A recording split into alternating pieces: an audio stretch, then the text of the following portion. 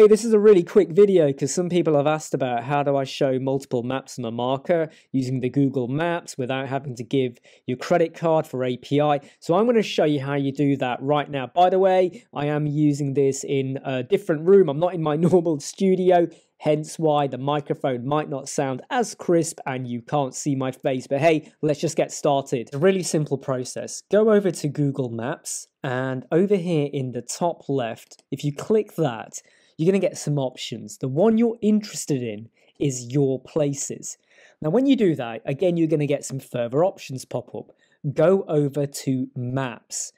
And this now will allow you to create your own map. So I've got a fake one over here, which I'm going to kind of ignore. And I'm going to go down here and click create map. You'll be presented with this screen. Now, the first thing it's going to do is say untitled layer.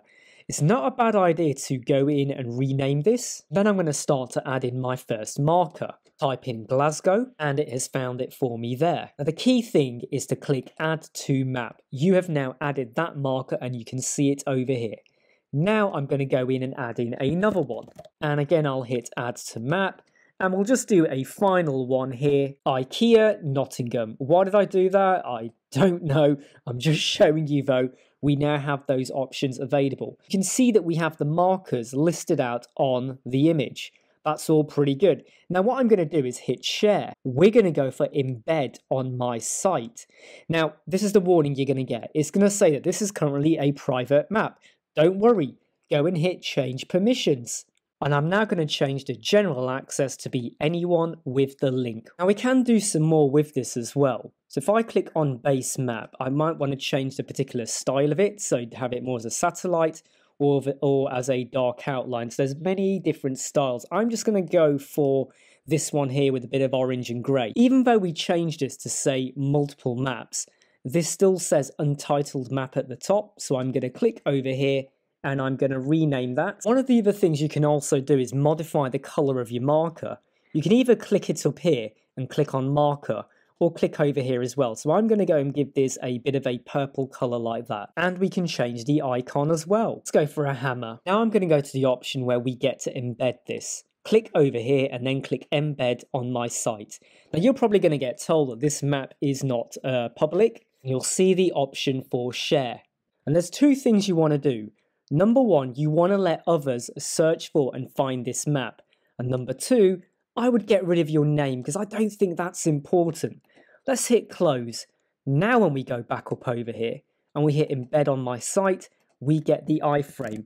Copy all of that. Now I'm inside Elementor, but that is irrelevant as long as you've got somewhere on any WordPress website where you can drop HTML. I have a HTML widget here, and I'm now going to drop in this little bit of code. I've changed the height just so that we can see Glasgow at the top there a bit better. So I've gone for 580. Now it's pretty obvious that the thing that's going to annoy a lot of people is this bar that we have at the top. One of the ways you can get rid of this black bar, and it is a bit of a cheat way to do this, okay, is if you can get in a spacer or anything like that, uh, I'm going to set the spacer to be about uh, 58. It's about 58 pixels, okay? And you might need to adjust this for the mobile. What you want to do is go in, uh, give it a background color that kind of matches whatever is the background color of your page. Let's just go with a white here for now. And I'm then going to give this a higher Z index of about 999. And then I'm going to go over to my map and I'm just going to now hit a negative and whey, it's now disappearing. That is the simplest way. I mean, I think I don't think I've got the measurements right, by the way. Anyway, look, you can see the map.